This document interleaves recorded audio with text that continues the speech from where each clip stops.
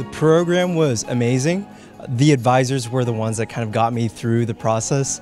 Um, coming to college, like many students, we kind of come in um, unsure of what we want to dedicate the rest of our lives to.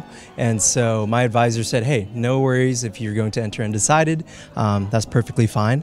And so I trusted her, um, and look at me now. Like I along the way was able to discern and figure out that I wanted to spend the rest of my life educating others as they did me. My professors just helped me each step of the way, um, opening their doors whenever I needed help, um, sending emails at like 1 a.m. and getting responses like 6 a.m. in the morning.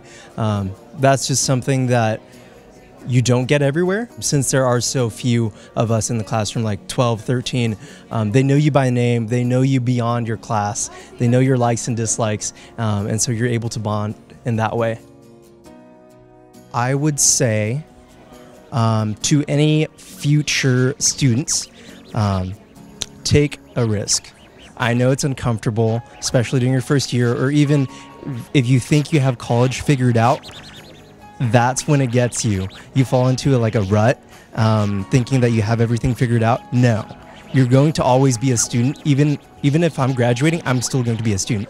So always search for adventure. Always be there for your friends.